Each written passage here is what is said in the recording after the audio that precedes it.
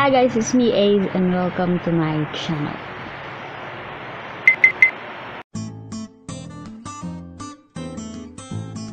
So, dahil hindi pa rin safe lumabas ngayon dahil sa COVID-19, I have decided to make a guitar tutorial videos of your favorite Christian songs. Kahit GCQ, I encourage everyone na magstay pa rin sa bahay. Pick up a new hobby like learning a new language or learning how to play an instrument. Spend your time wisely. Accomplish new things by the end of this season. Alright, so, ang ko lang sinabi. Umpisahan na natin ito. Okay, so as you can see, ang title ng video ito is Oceans by Hillsong Guitar Tutorial Easy. So, easy way lang to. Kayang-kaya nito. Okay. Unahin muna natin yung intro, then verse, then chorus, and then bridge. So, the intro sounds like this.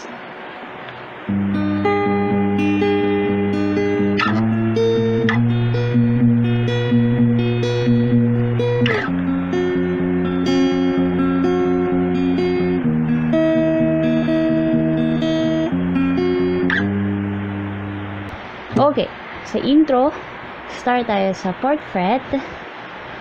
Yan, and then, yung daliri natin, yung fingers natin is nakalagay sa string 6, string 2, string 1. So, ito yung 6, ito yung 2, ito yung 1. Sa pag-pluck naman, kakalabitin lang natin yung uh, string 6 to 1. 6, 2, 1. So, 4th fret, fingers on 6, second and first, 6 to 1, 6. Three times natin siya ipi-play sa 4th fret. So, 6 to 1, 6, 6 to 1, 6, 6 to 1, 6. So, pag mabilis, Then, after sa 4th fret, taas tayo sa 6th fret. Doon pa rin yung fingers natin nasa 6th, 2nd, and 1st string. So,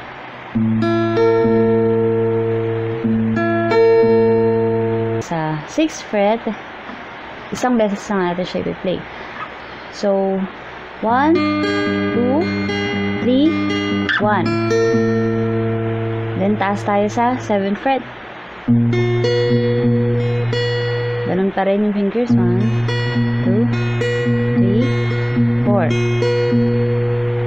4 times naman natin siya i-play sa 7th fret.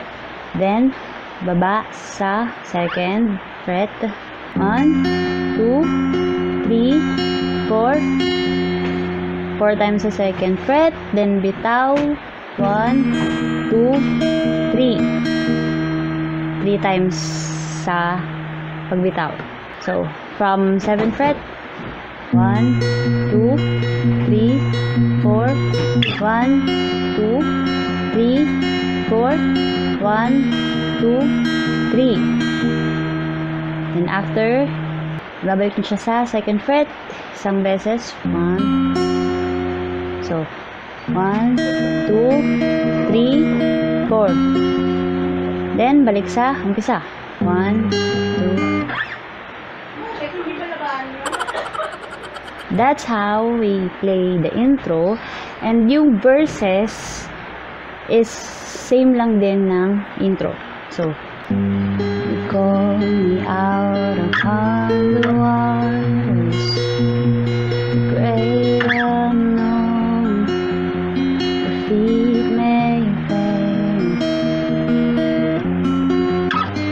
there I found you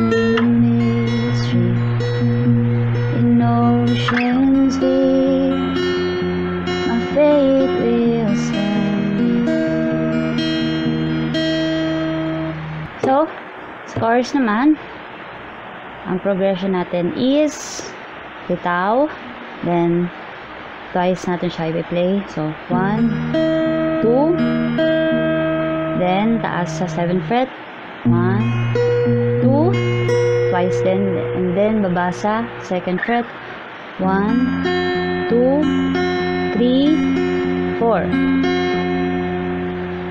so 1 2 1 2 1 2 3 4 1 keep my eyes above the waves when oceans rise my soul will rest in your embrace.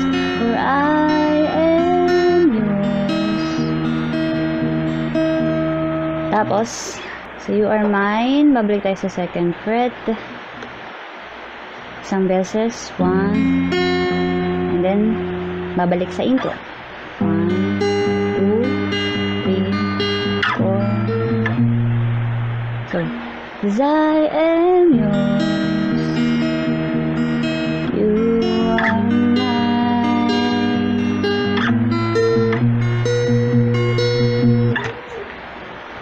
Okay, punta na tayo sa favorite part ng lahat, ang bridge. So, sa bridge naman, ah, same lang din siya ng intro at ng verses, pero mas mabagal, tsaka mas konti yung pag-pluck. So, ganito siya.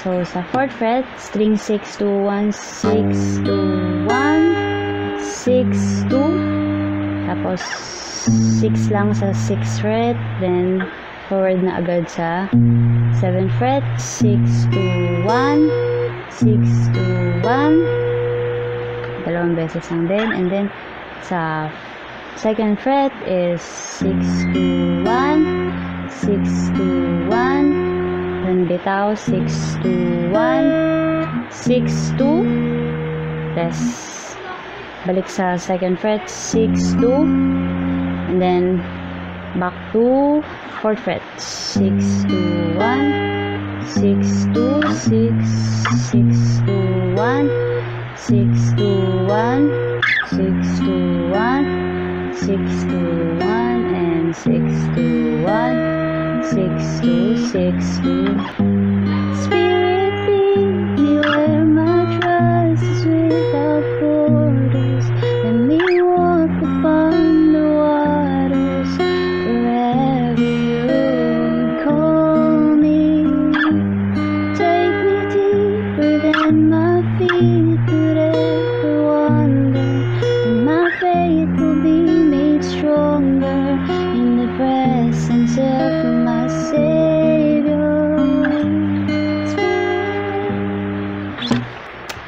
Okay, good job students.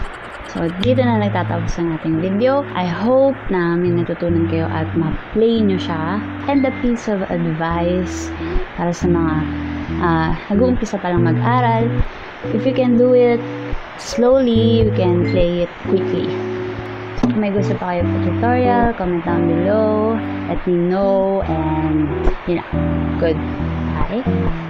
Peace. mentioning.